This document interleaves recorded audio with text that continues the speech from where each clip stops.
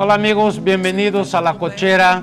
Me da muchísimo gusto saludarlos de nuevo. Vamos a tener hoy un par de pruebas que les van a interesar mucho. Eh, una de ellas es con la nueva Honda Odyssey 2011. Está muy interesante, hay cambios muy padres, les va a gustar. Y también tenemos una prueba con un vehículo que seguramente llama mucho la atención por su tecnología, el Toyota Prius, ese híbrido que es sin duda el vehículo de dos motores más conocido del mundo. Así que no se vaya, hay mucho que ver aquí todavía en la cochera. Vamos a empezar, sin, embargo, a hablar del mercado mexicano. ¿no? Hay un par de observaciones que me gustaría hacer. Primero sobre el cierre de 2010, ¿no? qué es lo que podemos esperar eh, de, este año. Hay todavía mucha incertidumbre con relación a los números de 2010. ¿Por qué?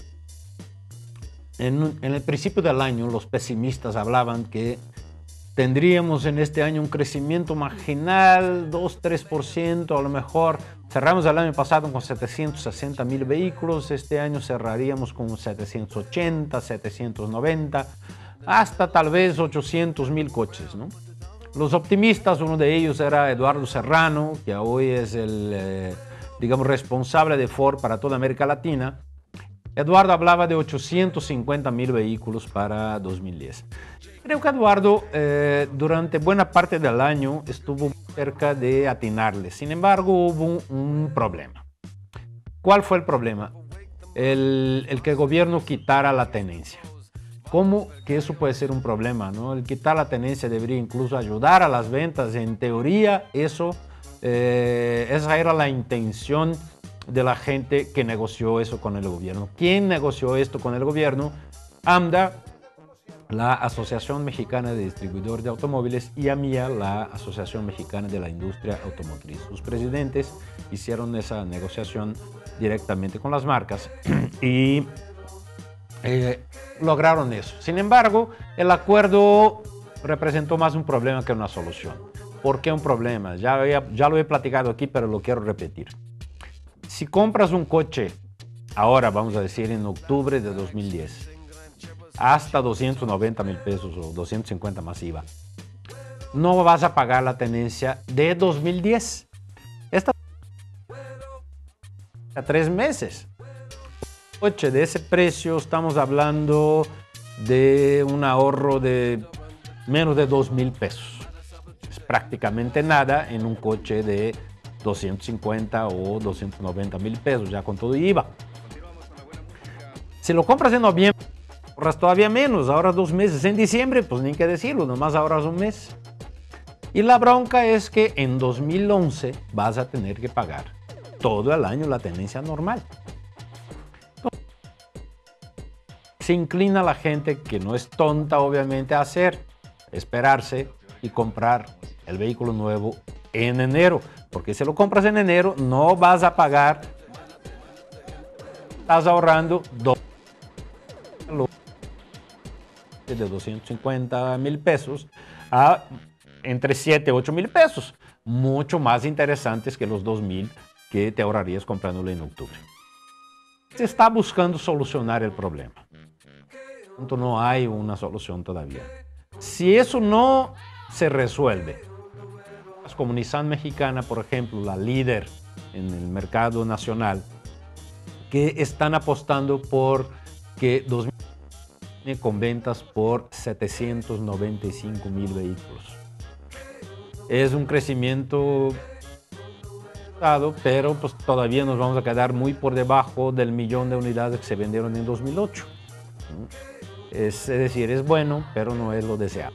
Nissan cree así como están las cosas, en 2011 tendremos ventas por 840, 850 mil coches, ahora sí, y retomaríamos la barrera del millón de unidades anuales vendidas a partir del 2012.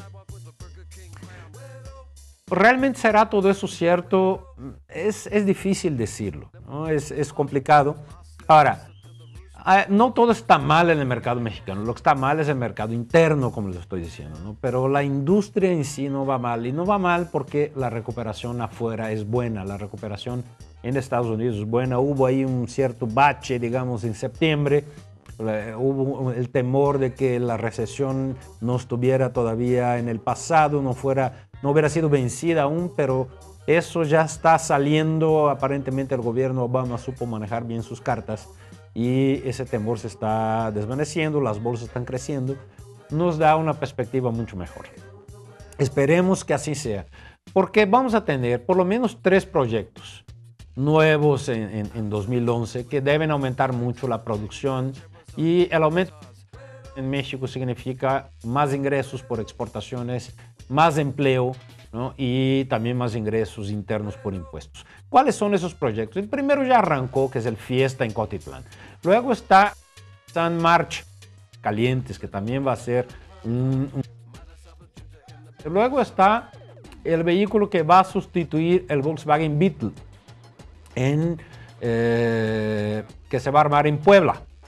Entonces, y por último, pero no menos importante, allá al final del año arranca, al final de este año 2010, arranca la producción del Fiat 500 en Toluca. Entonces, con esos tres coches, los tres de, digamos, de, carácter más, bueno, el Fiat no es exactamente popular, pero compacto y eso, son coches que, que, tienen más que ver con el momento en que vivimos. Así que muy interesante ahí está. Ahora, antes de irnos, que ya tenemos que cortar para ir a la prueba, Fiat está de regreso van a tener alrededor de 20 eh, distribuidores en el país. Son distribuidores que van a operar junto con Chrysler. Algunos de los que estaban antes eh, se van a mantener, no todos.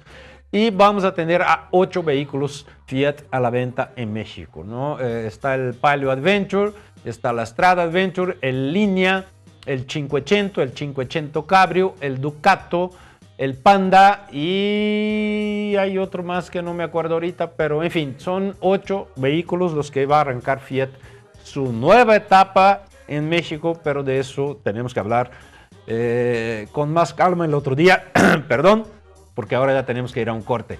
No se vaya, regresamos con la prueba de la Honda Odyssey 2011. Continuamos con la buena música. Yeah, bro.